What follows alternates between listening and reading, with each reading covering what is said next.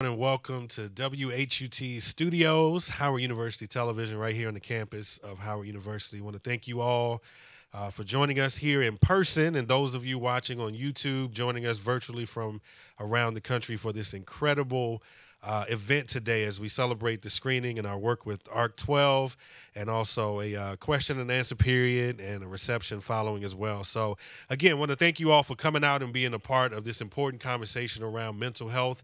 It's something that many of us personally deal with, or also have a family member or someone that we know. And so, the more information we have, uh, the better we can can deal with it and learn from it and be be better folks and live our lives better and better every day. So, again, thank you for joining us here at WHUT. We're looking forward to an incredible conversation today. So, stay tuned and uh, enjoy enjoy the conversation and get your questions ready because there'll be a lot of good conversation coming your way. Right now, I want to bring up Mark to hear uh, Mark Theory to come up and give some remarks. Mark is the producer of the ARC 12 project project and has a lot of great information to share in the mental health space. Mark.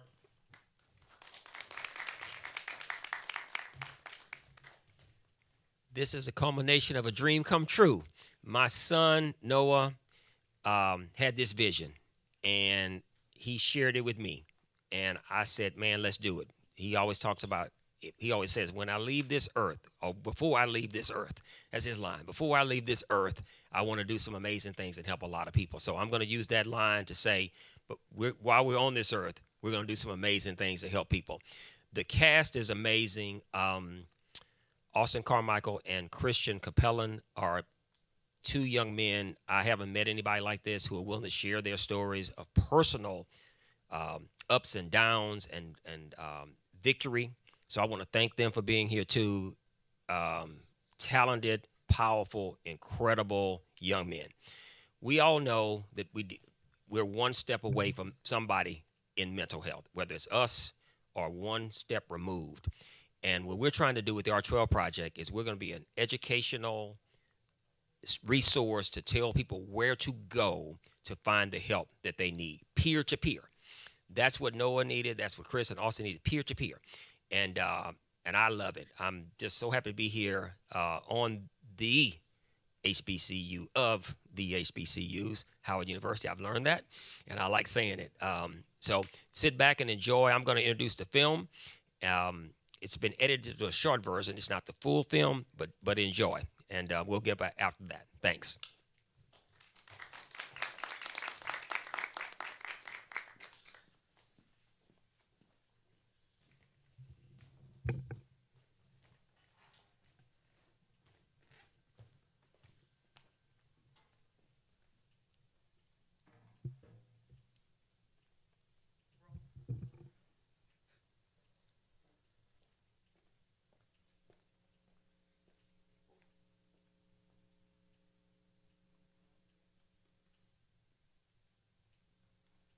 Three amazing young men who are very courageously and generously going to share their very intimate and personal stories, especially as it relates to suicide. My intention to do today is to have a real honest conversation and kind of just glean some of the wisdom that you might have from your experiences. And if that's cool, I think I do want to start with Noah since this ARC 12 project is related to him. I made it one of my goals, like, you know, to help as many people as I can before I leave this earth. And I got together with my dad, and I thought, hey, you know, if you helped me and we helped each other, we should be able to help other people. My first college I went to, I went to, I went to Hampton University, and they had a counselor on site. And I talked to them, and I said, hey, I'm having like, you know, I'm not planning to do it, but I'm having suicidal thoughts, and that's like a no-no word, basically. So after that, you know, they sent me to, you know, they called the police, they sent me to like the hospital and that was a very scary couple hours because I was like, I don't think I'm gonna do it. I just wanted to ask for some help, and I don't think it's the best way to do it because you know now you got me back the police car, you know, driving to a hospital, and I'm scared for my life and all that. Because you know, like what you know, I don't know what they're gonna do to me. You know, the first time being in a situation, and because of that, I you know, I kind of closed myself off a little more. But you know, throughout like quarantine, like everyone had like to talk to each other because kind of all you had to do I just started like you know just open up more about myself and just be like you know this is who I am and this is you know what I want to do with myself. And you know if I want to you know be a helpful person, then I gotta you know gotta help myself first, and once I get to that point, then I can help other people. Christian, you want to tell us a little bit about your story and what, what brings you here and the ARC 12 project and everything?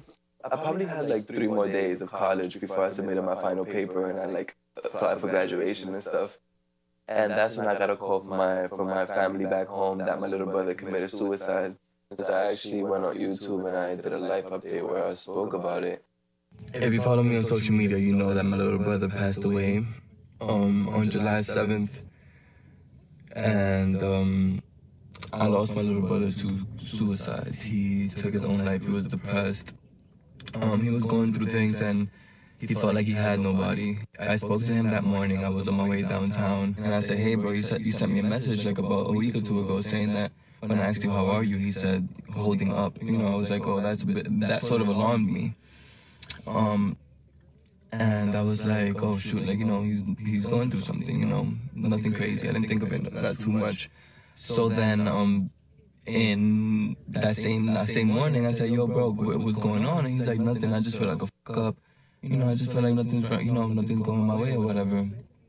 And I told him, and I said, "Like it's gonna be okay." That was the last message I said to him. I said, "It's gonna be okay."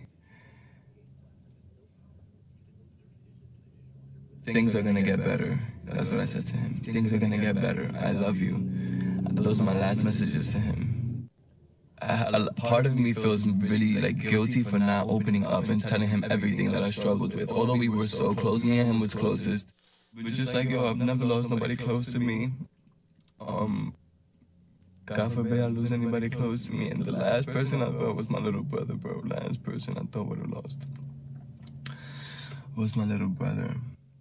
I went into a spiral of going into drugs again. I even had my own for a um, month or two where I was feeling suicidal. Um, but because of the person that I have been and I've been very outspoken, I was able to uh, let it to. I didn't let it get to a place where I was in trouble. I feel like I'm doing better. I'm finding company. I am speaking out. I'm asking people how they're doing, and sometimes the best help is just helping other people. So I feel like I'm doing this right now. You are very fortunate to get on the other side, and the fact that you still struggle is what keeps it real. It's what makes you even more valuable because you're still finding your way and you've still been through so much. And keep it real. Don't put on a facade. Don't make it fake. Just like you're doing now. Just keep it real, you know, and find people where it's safe to be real. You know what I mean by safe? You know what I'm saying, right? Yeah. So, Austin, you've been listening to the conversations I've been having with Noah and Chris, and tell us a little bit about your story in connection to ARC 12 one of the big things that I appreciate about ARC 12 is that I get to um, share my experience. Um, there was a point of time in my life where I felt as if I was worthless. I felt like I didn't deserve to be here. I felt as if everything I did was a, a big mistake in my life. So there was a point of time where I took 28 pills of Zoloft and uh, I tried to commit suicide. I actually, um, sorry, I actually uh, passed away for uh, 30 minutes and uh, had three seizures. And when that happened, I was in the hospital. I was in a coma for a week. So with the ARC 12 project, I'm here to inspire others because when I awoken, I got to see who was all really there for me. The whole time I was never alone. And sometimes people think they're always alone, but there's never a time in your life where you're ever alone. There is always one step to take, and that is pick up your phone and call a family member. And that's all I had to do. So ARC 12, I feel as if this is like a big thing in the world that people need to hear because some people think that money is everything. Some people that think that they're there for each other, but it doesn't matter about any of that. It just matters that you're never alone. Are you one of these people that remembered that experience? Do you have uh, any of recollection of that? It was peaceful. Most people don't want to hear that, most people want you to say that they went to heaven, they went to hell. But the one thing I will say, it was peaceful. Well, like we could assume then it wasn't hell. I mean, so, you know, you're doing something right, right? Yes, sir. So what's the rest of your experience been like since that since that moment? Have you felt that that was like a major game changer and that you are going to take make the most of the so-called second chance or is it one of those things where you know, the, the, the fear of spiraling is always there, that it messes with your frame of mind. Where are you in in your process?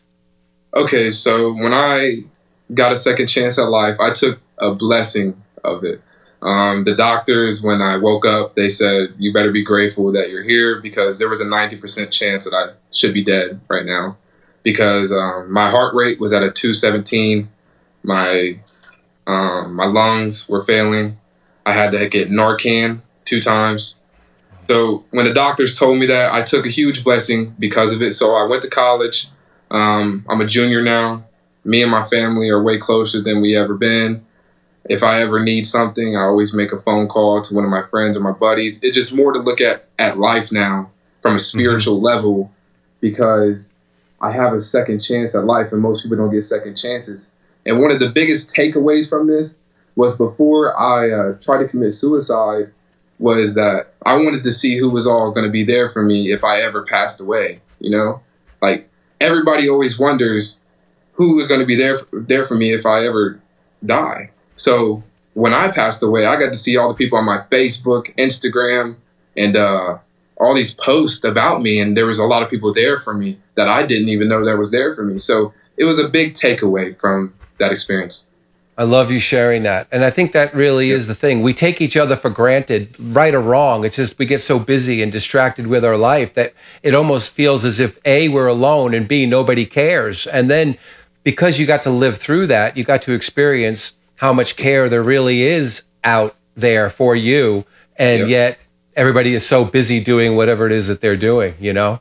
Self love plays a big factor in somebody's life.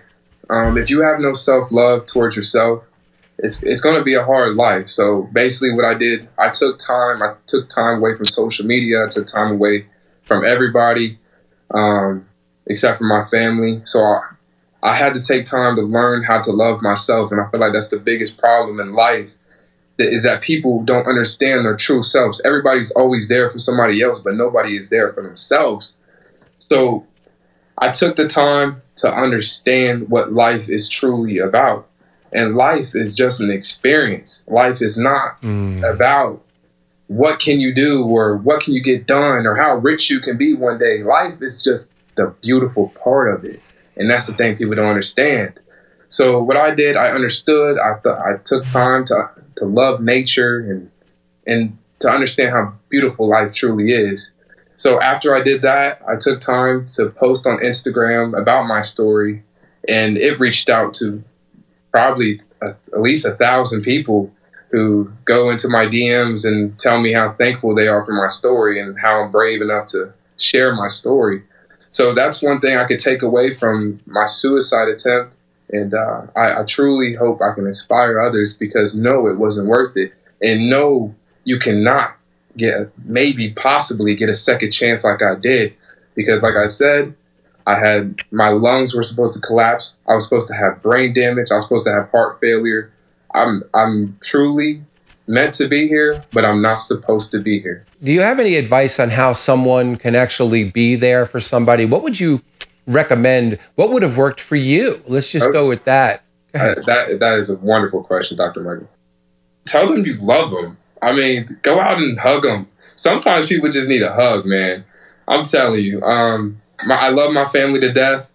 But one thing I can say, I'm not going to say any names, but one thing my family thought that was right for them, it might have been right in their own head. But what they did, they gave me gifts. You know, mm-hmm. whenever I was down, whenever I was upset, I would try to talk to them. They would tell me I'm okay, and then give me twenty dollars or fifty dollars or a pack of AirPods. And you know, yeah, that's wonderful. Yeah, I should be grateful for that as a kid. But one thing I can say is money is not everything, man. Money is not everything. All I wanted from my parents or from a family member or a friend was a was a hug, dude. What are the things that you did to help yourself and how did that work out for you? Um, I would say that I tried to go to a therapist. Um, when I t- tried to schedule an appointment with the therapist, basically what they told me on over the phone is that I told them I needed help immediately. Um, I was crying over the phone, uh, saying that I, I didn't want to be here. And basically, what they told me is that I had to wait a couple months in order to get in with a therapist. I find that a big problem in the United States is that they find mental health as a joke. I was bawling my eyes out over the phone, pleading for help, that I need to get in there ASAP. And basically, what they told me is that it's going to take a month for me to go in there. And um, I feel as if therapy can be a lot better by a long shot. Have you e- e- played around with the idea of putting together your success team, like having people that you can call? Do you have a good Rolodex now that if you were ever in the situation that you were in before, that you'd have good resources readily available? Yes, and uh, I would like to say that is anybody. You can go to anybody in the world and tell them how you're feeling. It doesn't matter if that's your buddy or a family member or a school buddy from the past. You can go to literally anybody and ask for help. So I would say that helped me by me asking simply, can someone talk to me right now? You know, mm-hmm. it's but to anybody. Noah, would you like to answer that question? I'm, I'm grateful for my friends. You know, they're, they're they're really good people. Just like the best advice, just just be a good person to your friend. Right. How, does he think it has helped you to be there for your friends as well now? I mean, like at that level that you're needing it, do you find yourself reaching out and really being like emotionally there for them as well as physically there, like ready and able to do anything? Or, oh, right? Yeah, like one of the first things I'll like always do, like uh, I'll always ask, like, "Are you okay?" That's like that's like the first thing I'll do. And if they say like no, then like you know I'll talk to them more. But if they say yeah, I'm fine, I don't want to talk about them. Like I'll be like, okay, I'm here when you need me. You know, just, just let me know. I'm here to listen. How about for you, Chris? what Noah said, just listen, be there to listen. Cause I feel like had I sat down there at that train station and just picked up my brother's phone call and heard him cry and spoke for 10, 15 minutes, I'm pretty sure he probably would have been here still. Listening goes a long way. You don't know what people are going through and you don't know how much a listening ear goes. You don't know how far that goes to some people. And actually, the purpose of of ARC 12 is to do this. Here are these amazing 20 something year olds that are sharing honestly of what's going on here in 2022 and what we're facing. And I think the heart to heart and the depth of which that you guys are willing to share is just the fuel for a better future. So I'm really excited for ARC 12 for for the and especially the three of you guys. I really really appreciate deeply the vulnerability and the openness and the rawness and the fact that you're just dropping a bunch of truth bombs here.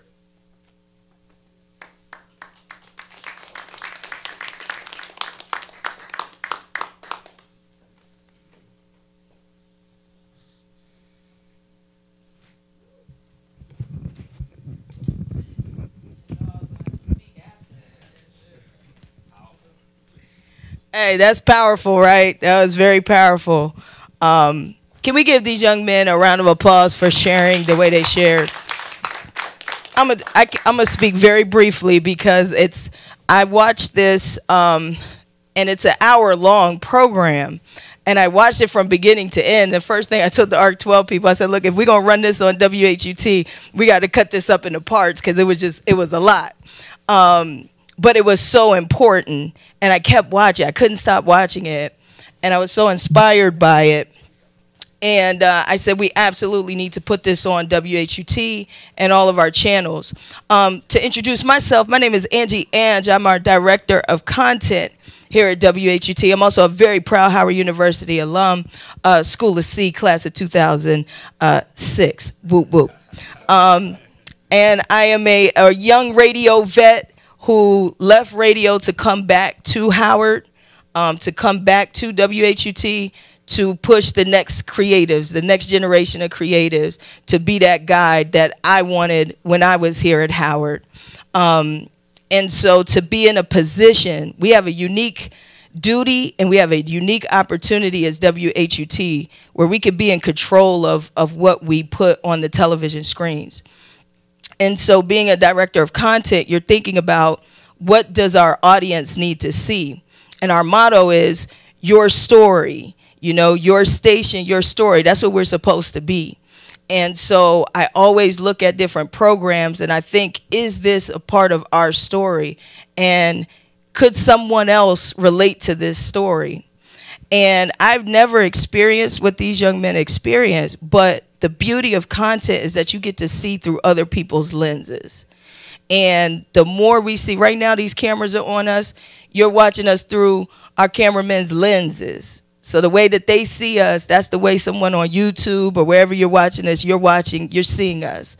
Um, and so what you see through your lens, what what my man Torrance is seeing, you know, Tree might not see it. Frennis might be seeing something different. We all see it different because we're shooting, we're getting shot from different angles.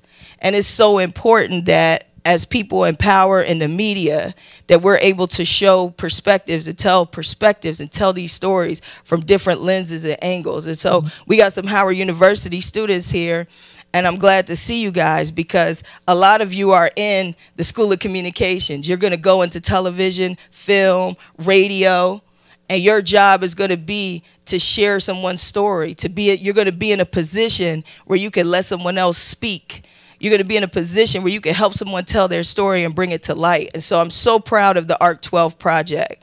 Uh, I'm so proud to to bring this on to WHUT's platforms.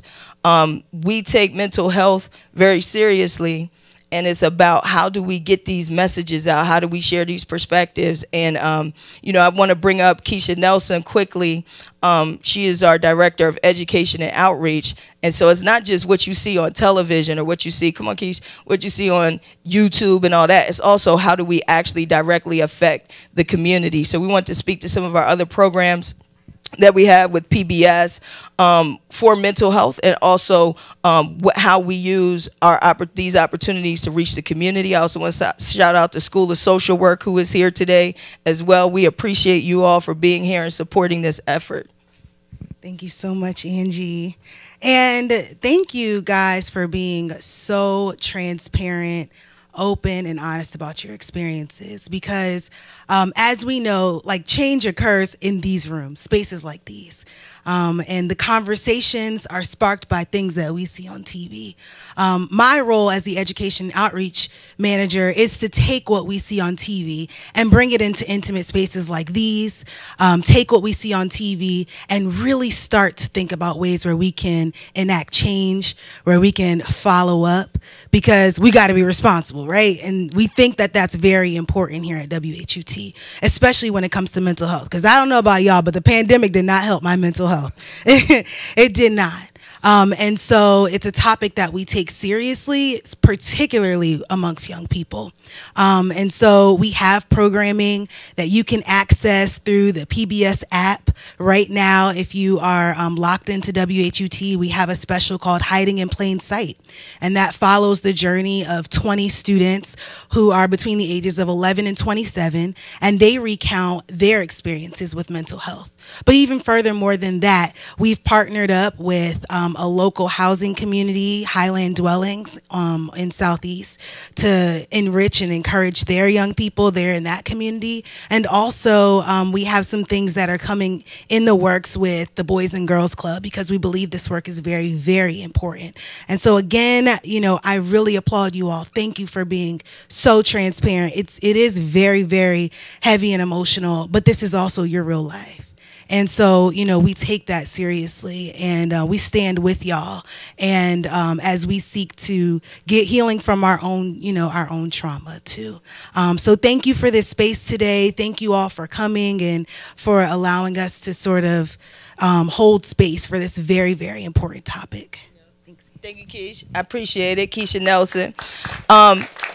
And we gonna keep this program going. And I want to say this: what was awesome about the if when you see it in its entirety is that it's not all low. You don't feel it. It's it's hard to watch, but I was also inspired at the end of it. I was so inspired by you guys. I was so energized by you all um, at the end of the conversation, and uh, it made me look. It, you, here's what's interesting. I, I shared this with our our um, head of production, right?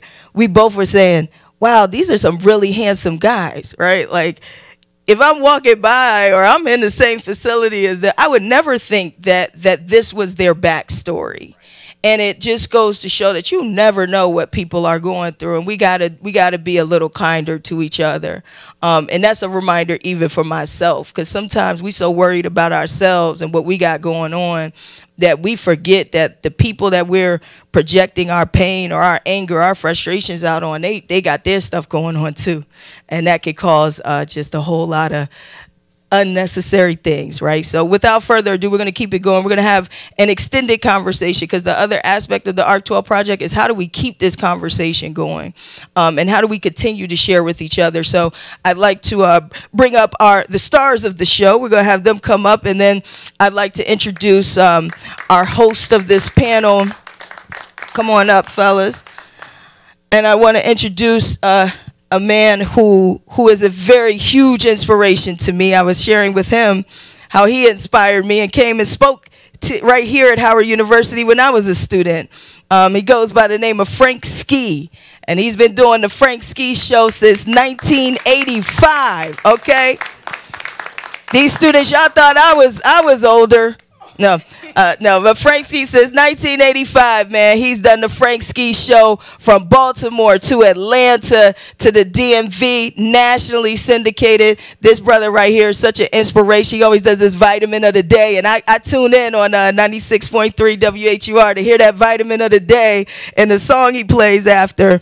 Um, and he's such a powerful example of just a, a powerful black man supporting other uh, black men up here. And so, ladies and gentlemen, Frank Ski, can we show him some love? You hear him in the afternoons on 96.3 here in the DMV and across the country. Thank you. All right, I guess we need one more mic for our guest.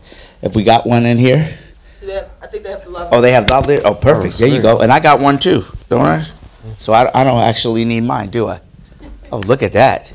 Oh. I forgot where I was at. There it is. Okay. There it is. Um, first, let me just say this. Um, thank you for your bravery.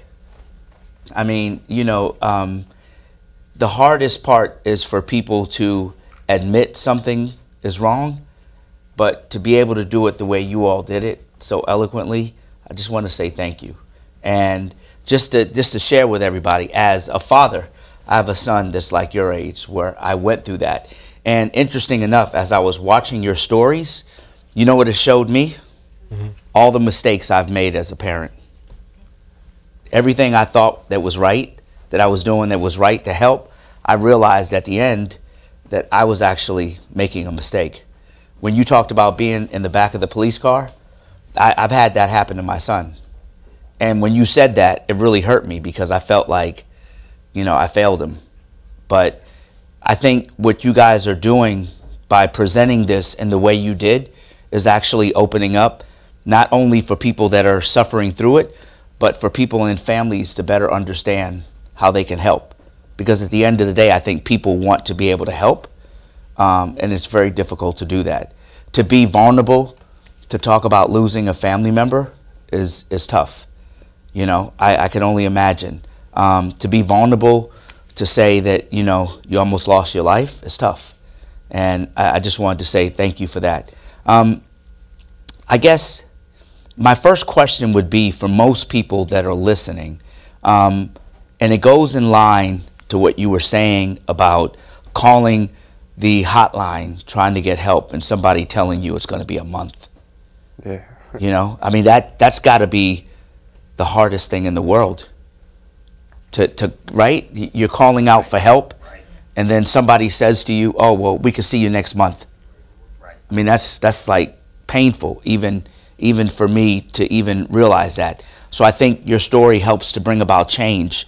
Um, but what was the hardest part about getting to the point, and anybody can answer this, getting to the point of asking for help? What was the hardest part? Because I'm sure you you alluded to it in the beginning, Noah, that, Mhm. that you had the thoughts before you went for help. Mhm. But what was the hardest part to go from the thoughts to asking for help? Because I think what what I report on the radio and what people see is a lot of times when people are gone, their friends say, "Oh my God, I didn't know." Mhm. What was the hardest part? I think the hardest part, honestly, was just really like that getting like the terms with like, okay, if I don't do something now, I'm gonna do something harmful to myself in the future. So it's probably best if I go ask for help now, because you know, if, if I don't, you know, I could not be here tomorrow. So it was just coming, it was just coming to grips with that idea of like, okay, I might actually do this in the future. That was the hardest part. Uh, the hardest part with asking for help. Yeah. I would say the hardest part with asking for help is that nobody really typically understood what I was going through. You know, everybody has their own mental battles in their head that not really many people can relate to. So you try to talk about your problems to a friend or to a buddy, and you know, they're going through their own problems. Everybody's problems is different. So your problems and their problems might not match up. So basically that's the hardest part when you're asking for help is trying to find someone who actually understands. You need somebody that understands. Mm-hmm. Basically, yes, yeah. I feel like my situation was a little bit different because I was already on social media and I was already sharing my story. So like as I was growing up, I was always um, posting what I was going through, things that I'm going through, um, situations that I'm in at the moment. So it was a bit different for me because I posted my brother passing away. I posted myself crying. I posted my, my story. I posted, hey guys, reach out for help. Hey guys, this is what's going on. I, want, I don't want anybody else to go through this. So people already knew that I needed the help. It wasn't me more so like I need help. People already came to me, they gave me advice, you know. But the help that I, the thing that helped me the most was me helping other people, was me sharing my story. Because then I see what people are going through and they're giving me advice and we're both learning from each other at the same time. One of the things that I saw while watching this um, was the fact that people look at you, and Angie Ange said it best. I mean, if I was walking through the campus, I'd look at you all and say, man, they got it together. like, bro, I'd walk up and say, man, they got it together. You guys are all good looking, fly, dress cool. I mean, I don't, I don't see no issues. You know what I'm saying? How hard is that to have that, have that front like everything is right, but then inside everything is mm. not right? my friends will tell you like one thing I do a lot is I'm always scared that like I'm coming off as like too much or annoying. So like I will like keep it inside like how like I'm feeling about that day because I don't want to like annoy anybody. And the front is hard. Like like you see like right now like I smile a lot. And that's kind of like how like I like make people like know like oh no I'm good. You know like I'm doing my Noah smile. It is what it is. I'm cool.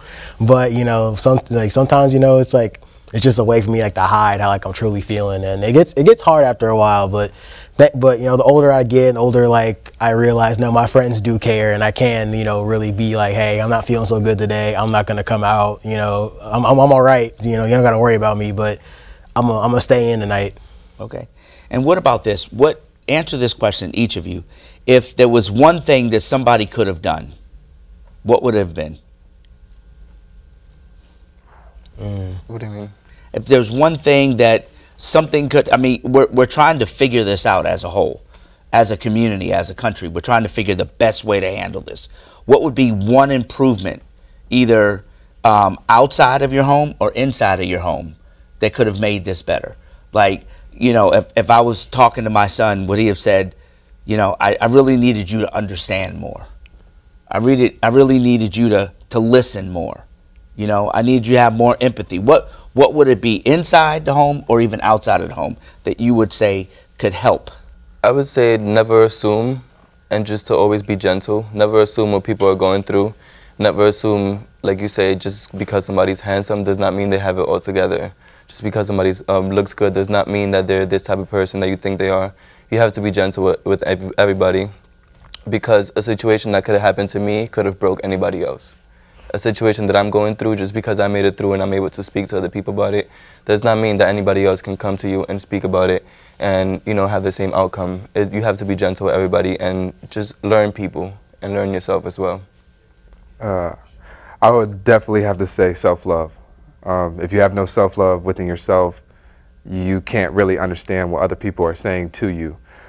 Um, the biggest thing that could have helped prevent me from committing suicide is self-love. If you don't love yourself enough, you're going to lose yourself in this matrix, you know? This life is literally a curse and a blessing, you know? You get to wake up every day and see how life is so beautiful, but also you got to go to work. You got to make sure the bills are paid.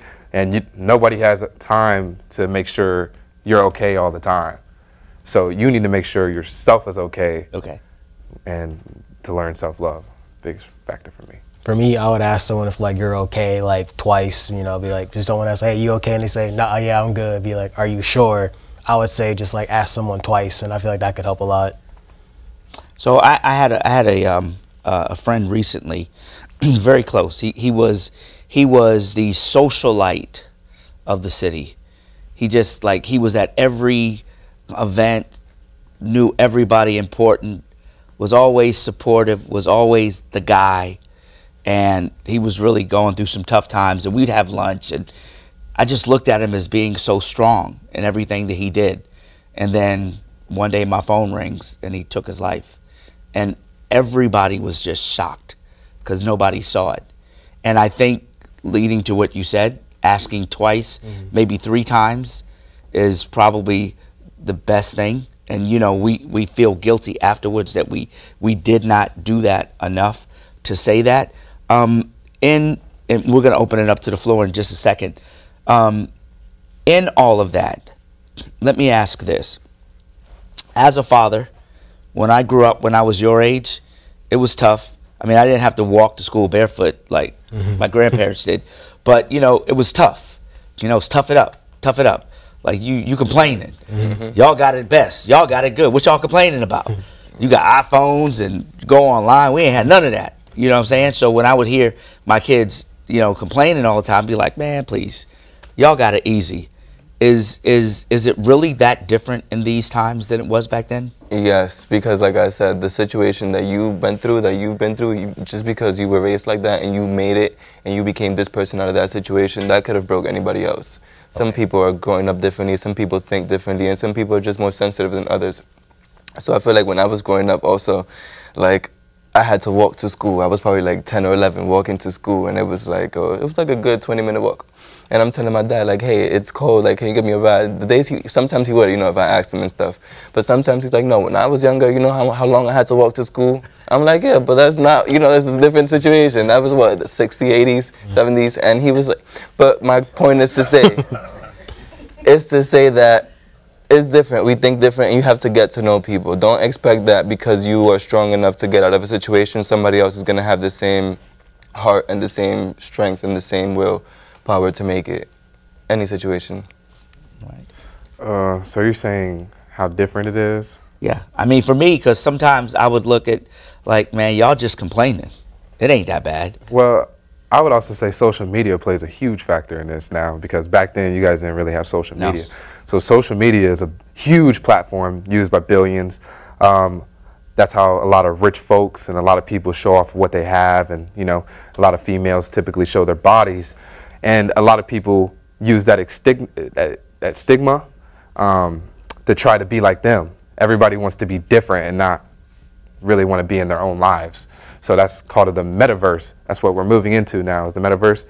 So with that being said, when somebody sees a nice car, they're like, why don't I have that nice car? Right. Someone sees a chain, why don't I have that chain? Why don't I got them shoes? Why do we need them shoes? You know, why do you need what that other person has? And that makes someone else feels less important because they don't have that. I live in a blessed life, but when I hop on social media, I'm like, oh, I need them pair of Gucci shoes. I need, you know what I mean? Yeah. Because I make myself seem less important than they are, even though I'm more important than they are. Got it. You know what I'm saying? No. I feel like it's um you gotta tune your parenting style to like the way things are like nowadays. Um I don't think hard love like the way like it was like back in like the 60s and 70s works anymore. I, you can still be like tough on your kids when they mess up, but you can't be. But it's not the same like how it was back then. You know, like you can't like just hard punish like like that anymore. So I think you just gotta like really just attune your parenting style to how like how the way it is now.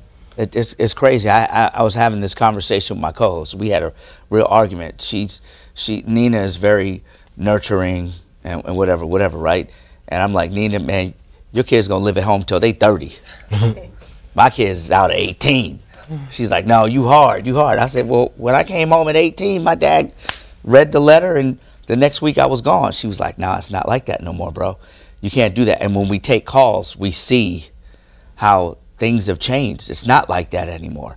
We have to be more humbling and say, you know what, maybe we need to give them more time and more help and more understanding because it is harder than it was before. And I truly understand that.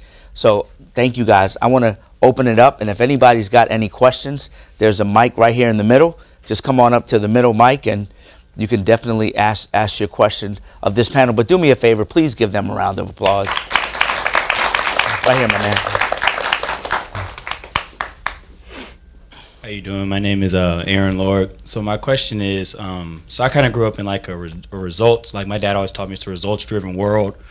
Um, people don't really care what you have going on; they care about what the results are afterwards. So I always kind of grew up thinking, you tough it out. You know, tough times don't last. Tough people do things like that. And I will say that that helped me a lot in life. But my question is, when do you think that that is too much? Like, how do you know? Okay, like you know, it's been, you know, when do when is it too? When do you know when it gets too much? Is my question. Anybody? Um, I would say it gets too much, and like you're like prioritizing like getting like an A on like a on like an exam, or like getting like the next, like like making sure he gets promotion at your job and like the as quick as you can, and like instead of like your own health. So instead of like using like the money you get from like your check to like you know get you some food, use that money you get from your check to like put you like in a program to like get you like further ahead in life, which that does help in like the long run, but like you got to eat every single day.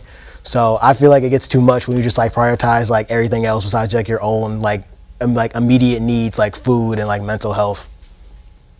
Go ahead. It gets too much when, at the end of the day, life is a journey.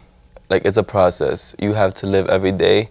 You're not. I feel like it's. If I was to think like that, not that not that there's anything wrong to think like that, but if I was to think like that, I, I wouldn't feel accomplished if this whole time I'm going to do something and I'm trying to get this result and I don't get it. So the whole three years that I wasted to get this result and I didn't get, I've spent it and I was very unhappy. So I feel like it gets too much when you're prioritizing this result rather than actually living every day and trying to enjoy your life and just actually paying attention to the small things, the things that matter. Like family, like um, love, like having out, going out with your friends, like things like that, rather than being so hard on trying to accomplish something when at the end of the day, it's life. You never know if you're gonna get it. So it's like, just make sure you live in the moment. That's when it gets too much, when it intervenes with you living in the moment and being happy. Anybody else? Question? Hello. So I got a little emotional on the part where you were when you were um, overdosing in the bed. This year I have seen two overdoses so far, and they both. I've seen how like the Narcan pen have helped, but my question to you is, you're still in college right now. So like, how have you dealt with drugs and alcohol? Because you know, like we're in a college where people are openly still like using drugs and alcohol. So like, what have you done to like help your experience with that? I would have to say um, I never really been into hard drugs and uh, alcohol. Um, so with that being said, if a student is overcoming them battles, I would have to say, mm,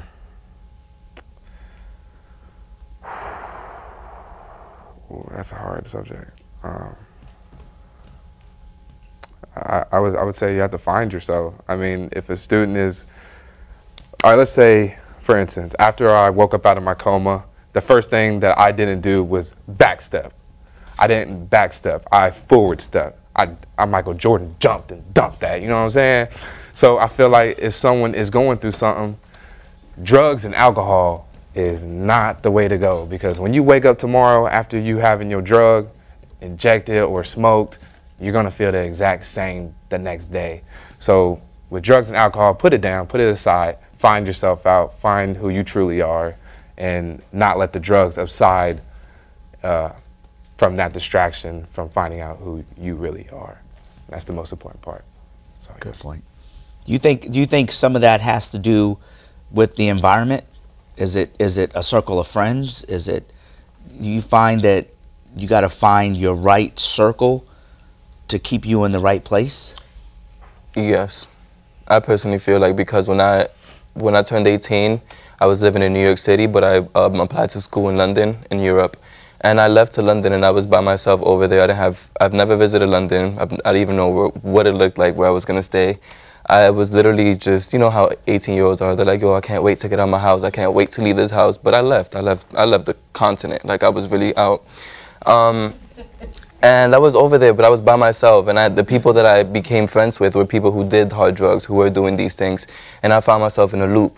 um, up until like my brother passed away, where you know I had to come back home, and then I got out of out of that situation of that environment, and I was like, wow, maybe it wasn't just me this whole time, and I was and I kept blaming myself, and I felt guilty, and although I was still in college and I graduated college and I did all I had to do, it was the, the environment had a lot to do with it. Because once I surrounded myself with people who are a little, you know, um, more sane, have healthier habits, and do stuff that actually make your soul feel alive rather than your body. Your soul needs to be lit. Drugs, they make your your body feel good. But soul, it's it's deteriorating it. It's not making you feel good. Like he said, tomorrow you're gonna wake up and you're gonna feel the same way. Your soul is gonna feel even probably more dead. No. I'm gonna combine like what both of them said. I think like moderation is very important. You have to like also like I don't think like you drinking like one like like one bottle of beer is gonna like ruin your life, but I also do think like you gotta know like who you're with because like you know you might only want to have one, but you might like because depending who you with, you might have seven.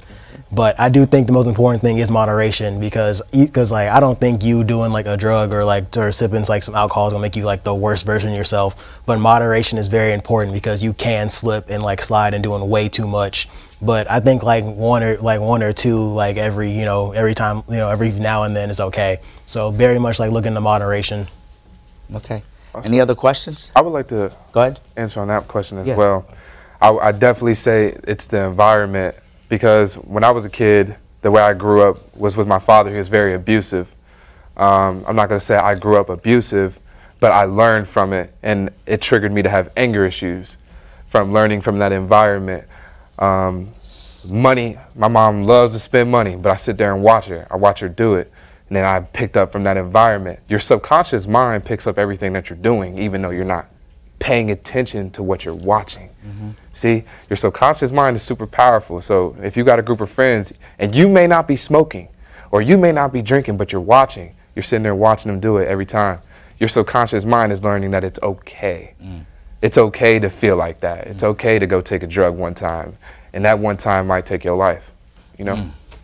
Facts. Listen, I'm just in fact. Hi, how y'all doing? Um, my name is Edward, and um, for, oh, closer. Okay, what's up? My name is Edward, and um, first I thank you all uh, for your transparency because transparency brings forth more transparency.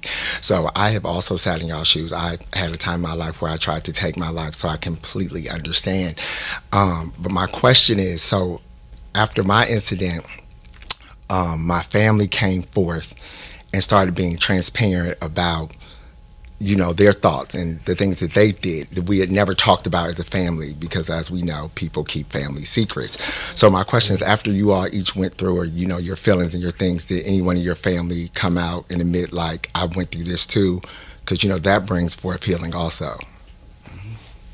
I'm very thankful to have like a open like communication with like my parents and like the rest of my family members. So after I like went through like my incidents, they did come out and said I was feeling the same exact thing. Like you were feeling. I just didn't know like when to really tell you because it's like that's a hard conversation. But I do think like um, it's like you gotta like it's, all families aren't open with each other like that. But if you are, I do like highly encourage like do you just like straight up just like tell your family like how you're feeling at that moment. Anybody else? uh, I would have to say my parents are not very as open as that. So I would say my mom, I brought her outside the box when I committed suicide. Let's just say that my mom's very uptight, strict, always, you know, you know that kind of mom. So when I woke up out of my coma and I went to the psych unit because I had to stay there for a week, um, she came in there and she bawled out her eyes to me. She started crying and telling me how she apologizes that she wasn't there. You know that she could have done better, um, that she was sorry. So I feel like just because they're not as open as their their feelings or emotions, um, because not everyone is the same as us. Not everyone is vulnerable enough to come up here in front of people and to speak about their emotions. And my mom, and this might be like other people's parents, my mom don't like to talk about her feelings. My mom was stabbed 35 times uh, eight years ago by a man, Robin Chester. Uh, so after when that happened, she turned into a very strong, very powerful, independent woman. So yeah, with parents, they might come up to you in a different matter of perspective of how they feel about your situation. All right. Anyone else? Yes. Yes, let me adjust this. Hello, everyone. My name is Sasha Tertzag. I'm a junior computer information systems major from Bloomfield Hills, Michigan. And first, I just wanted to say thank you for having this. This was super ma'am. amazing. Mhm. But also just share my appreciation with the outreach and action items that you guys are doing within the community, specifically with the Boys and Girls Club. I went there all the time as a child, so just knowing you guys are working with communities, it's amazing. But my question is at what age do you think these conversations need to be started and sparked within youth? Because I know I work with like a lot of underserved youth and I'm like their mentor. And I'm like, you know, should we start having these conversations a little bit earlier? And just wanting to know your experience mm. as well. Want to start? Sure. I think it's never too early. It just depends the the way you're having the conversations. Like I'm not gonna talk to an eight-year-old about suicide or about killing themselves, but I'm gonna ask them about their emotions. I'm gonna ask them how was your day, and you take notes from that. You know, use the the type of words that they use, addiction, how they feeling. That some days they might say I'm feeling bad. Some days they might say I feel horrible. So what is the difference between these two feelings? What made you feel like this? Um, so just get a be aware of how they're feeling. So let's just open up and just make sure that they know that it's okay to not be okay.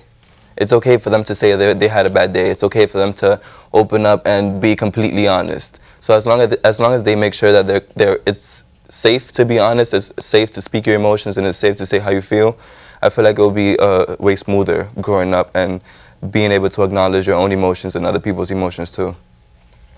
pick up on your question, I would say age 16. I would say when you start to go to high school. I feel like when you go to high school, you start off in that freshman building, you're getting the whole experience of a lot new people. You're getting experience from older people. You're getting experience to girlfriends. You're getting experience to drugs. You're getting experience to all of that. So I would say as soon as you hit that freshman year, I feel like that's when you should start attacking the hardest because that's when they're more eye opening to everything. It's a new environment when you reach that high school building. And um, that's when grades start to become more important because people are stressed about college, people are stressed about where, where they want to go in life. So, high school, that's the most important, I feel as if, because that's when somebody really needs somebody the most. I've seen people cry, I've seen people fight, I've seen people die. So, pay attention to that time and experience. Yeah, I agree with both of them. There you go. All right. So that's going to wrap it. Again, a round of applause. Thank you very much. All right, Angie, want to come up and close us out? Sean?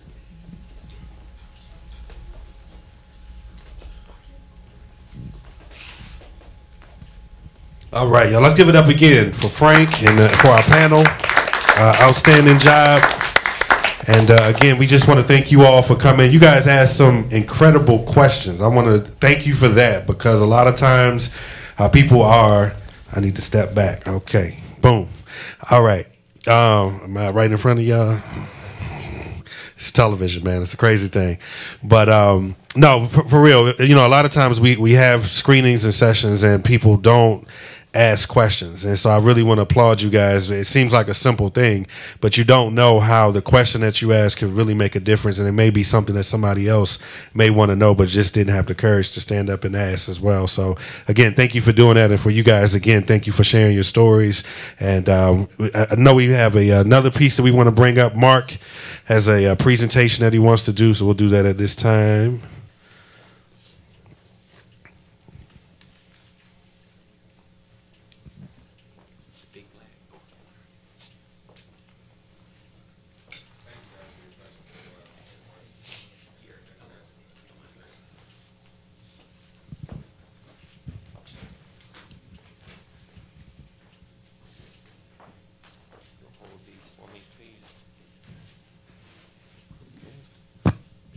Not only are we grateful, the ARC 12 family, Noah, Christian, and Austin, Gary, and I, uh, for what these young men are doing and saying and, and been through, uh, the United States Congress is also as happy with WHUT TV and Howard University and what you're doing. And um, they sent some gifts. The state of Texas, which is where we're from, they're very pleased and happy. Ooh, go ahead on what, on what on, on what we're on what these guys are doing and what you're doing, and grateful. So, the very first one is a amazing proclamation um, that I'm going to get my partner um, Gary Bernstein to read. Uh, I think he reads a little better than me without my eyeglasses. But it is amazing. Let me show it to you. It is.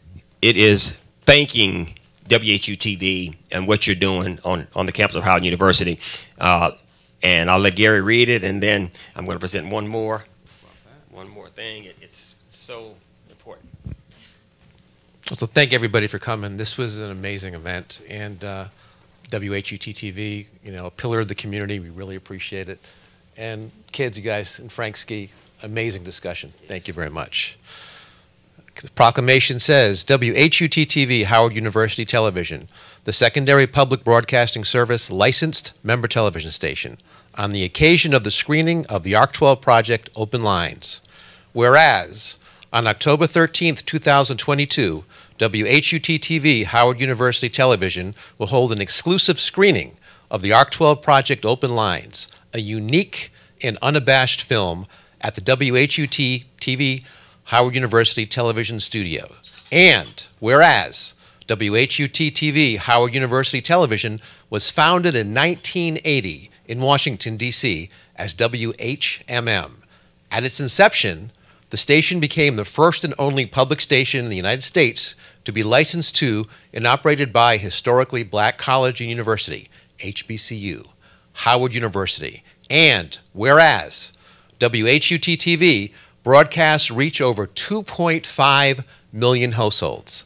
The station strives to underscore Howard University's overall mission and its commitment to excellence, leadership, and public service. For nearly 40 years on air, WHUT has become a leader in broadcast communications by providing quality programming that is relevant and informative while offering exceptional professional training in television, production, engineering, and management.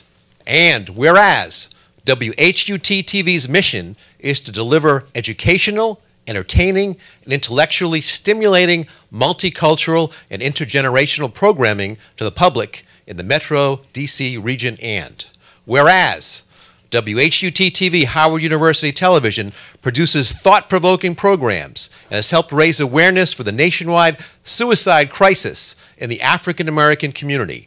WHUT TV is committed to offering support and guidance for students experiencing mental health challenges. The station supports organizations like the ARC 12 Project, founded by Howard University student Noah Thierry, who is committed to actively addressing and continuing the conversation around mental health on HBCU campuses across America. Now, therefore, be it resolved that on behalf of the constituents of the 18th Congressional District of Texas, I take great pride in recognizing WHUT TV, Howard University Television, on the occasion of the screening of the ARC 12 Project Open Lines. Your station is deserving of our utmost esteem for your commitment to raising awareness for the nationwide suicide crisis in the African American community. It is indeed worthy of the respect, admiration, and commendation of the United States Congress.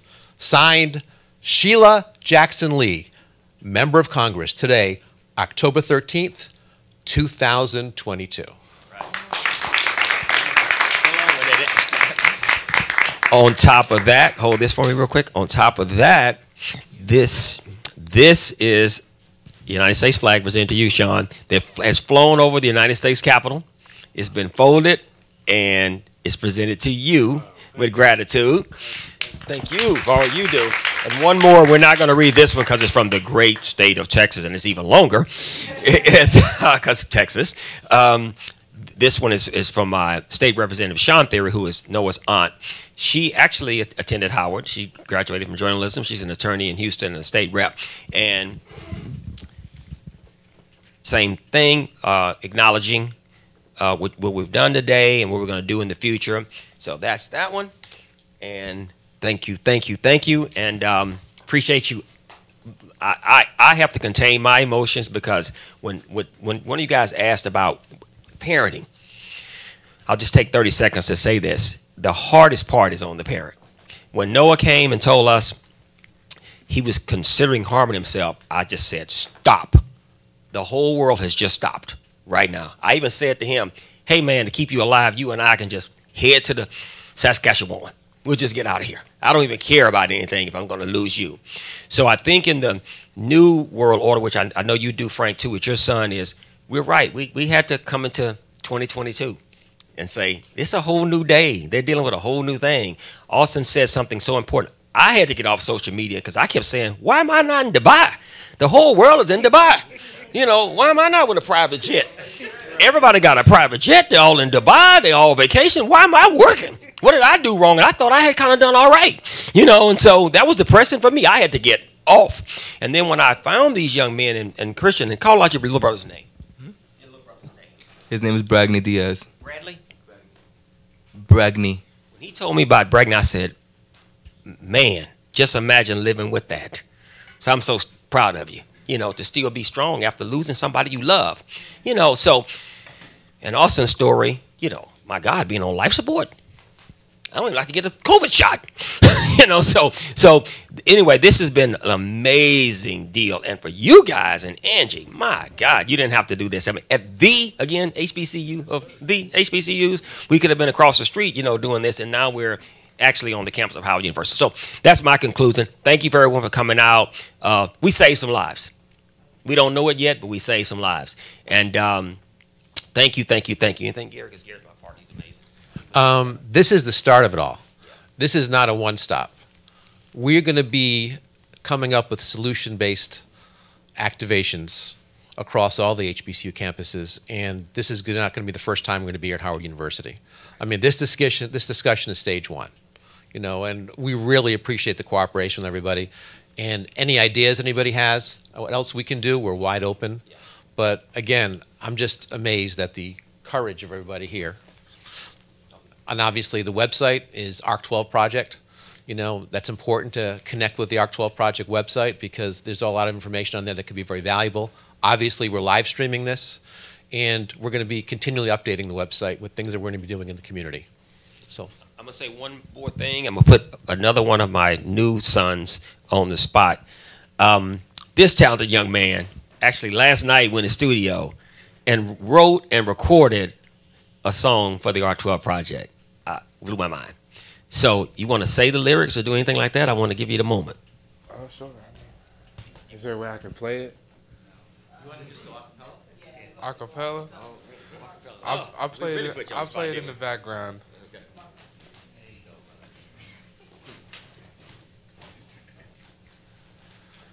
All right, here we go.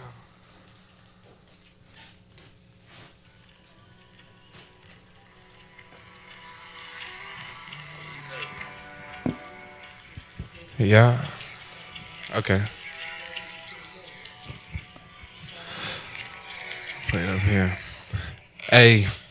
Don't give up on your life. I swear it's not worth it. Nobody in this life is nowhere near perfect. Gotta gain self love. You just gotta learn it. Throw them demons in the bag. And then you burn it. I'm glad God saved me, even though I ain't deserve it. I finally found my purpose. Now I think I'm at my greatness. Took a lot of patience, yeah, it took a lot of pain, took a lot of ups and downs, but I finally feel I made it.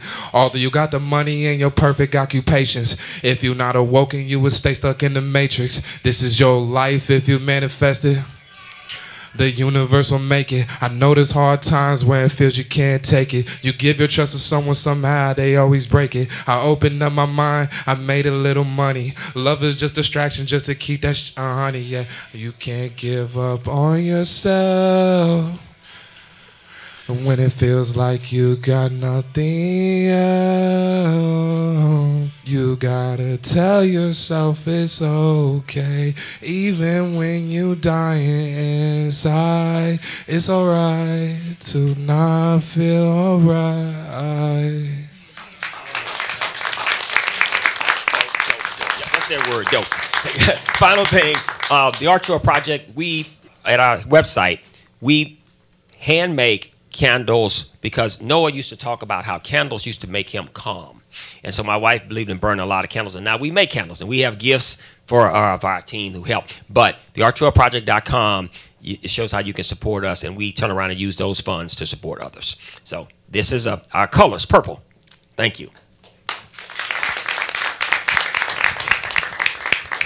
All right. Again, thank you, everybody. We do have um, some resources that we want to make sure that we share. Uh, they're going to be um, flashing on the screen as far as resources, uh, especially Howard University students, our university counseling service. Um, they are awesome. They do answer the phone, the hotlines, um, and so those numbers will be available on the screen for you to see and uh, for you to use those. And again, as you need it, they're 24 7 available on the weekends, overnight, whenever you need to talk to somebody. Please make sure that you use those resources. All right. Well, thank you again, everybody. We do appreciate you coming out, and we do have a reception that'll follow out in the um, the hallway just outside of the studio. Thank you again, and thank you to our WHUT staff. Oh, I'm wrong. It's actually in the back of the room. so make sure you go to the back of the room and get your, um, your, your snacks. But again, to our whole entire WHUT staff, to uh, Angie, Keisha, Sharon, I'm naming names, Frennis, I'm going to leave somebody out, Torrance, uh, Tree, Lou. I know uh, anybody else? Eddie. Eddie, Shannon, everybody I can't see. But no, but thank you to you all. We really appreciate it. this is a team effort of making this happen and Mark and Gary and Frank again, a lot of support and just want you all to know that you have the support of so many individuals across this campus. All right. Thank you again.